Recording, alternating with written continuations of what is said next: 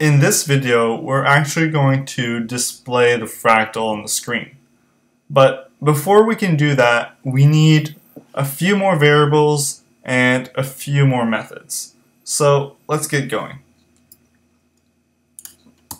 So we are going to need some way to track where we are in the fractal and at what depth we are in the fractal. So let's create a default zoom, which is going to be 100%. And we're also going to want to have a default top uh, left x position and we're going to set that to be negative 3 and we're also going to want a default top left Y position. Along with that, we're also going to want the zoom factor, which is going to be the default zoom, and you can almost guess what's coming up next. Top, top left X is going to be default top left X, and top left Y is going to be default top left y.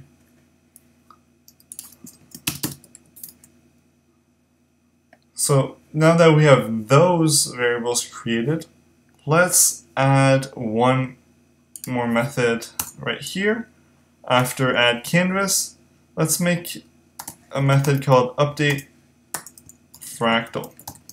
This is probably going to be one of the most important methods um, in our program because it's actually going to update the display. So public void update fractal. So what update fractal is going to do is it's going to go through every single pixel on our canvas and change its color. So to do that, it's going to need to loop through the canvas. So let's start looping through all the pixels. So while x is less than the width, x plus plus for y, while y is less than the height, y plus plus. So with x and y, we can get uh, a single color on, on our canvas. But for every pixel, we're going to want to transform the current x and y positions on our canvas two x and y positions in their complex plane. Because remember, we want to grab that complex point C. And that complex point C is going to be parameter and argument for compute iterations right here. So I'm going to say C of R is going to be equal to get x position for x, and c of i is going to be get y position for y. Um, the reason C of R is associated with X is because the real values are on the X-axis and the imaginary values are on the Y-axis. So let's make these two methods right now. So private double get x pos.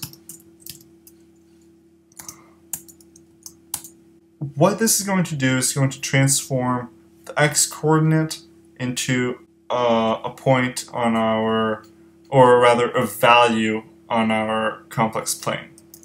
So that's going to depend on two things. It's going to depend on our zoom factor and where top left x currently is. And I'm just going to give it to you it's zoom factor plus top left x. And nearly the same thing for the y. Just make sure you change all these x's to y's. Except one small detail, if you recall, the y-axis is flipped, so we need to put a negative sign instead of a positive sign. And this is going, these two methods together are going to, to get our C of R and our C of I. And now we want to use those to call compute iterations, which is going to return the, the number of iterations. So uh, iteration count, compute iterations, C of R, C of I. And the next thing we need to do is we actually need to create a color based on the number of iterations. Um, so I'm going to create a very rudimentary make color method right now, but we'll go more in depth in the next video.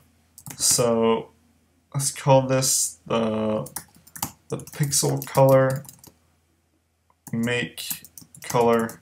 That's going to take the number of iterations we did. And the last thing we need to do is say fractal image dot set RGB at xy, so at the pixel we're currently on, to be that new pixel color. Oh, and actually I lied. One last thing is to call the method canvas.repaint.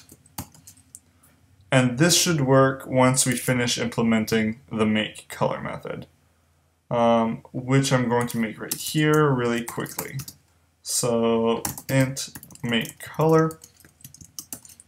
And if you remember, this took the number of iterations, so iter count. And right now, we're going to say that if the iteration count is the maximum number of iterations, then we want to return black. So that's going to be color dot black dot get RGB. Uh, otherwise, we're just going to make the background blue. So blue like this. So let me recap what we just did we create a method called update fractal. It loops through all the pixels in in or on our canvas.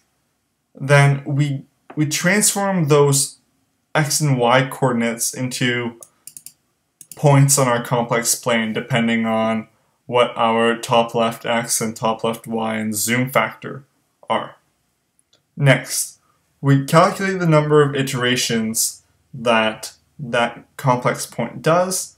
And then based on the number of iterations that happen, we get a different pixel color, and then we set the pixel color on our fractal image. And once that's all done, we repaint on the canvas. So let's see if, if I have any bugs. You never know. I'm clean. If we run this, we just get a blue canvas. So something went wrong. I found our error. Y should be positive. So let's go and run this. And bingo. As you can see, we have a very rudimentary Mandelbrot set. We can't click in and zoom, we can't pan around, but it's being displayed right here and now. Guys, thank you for watching, and I'll see you in the next video.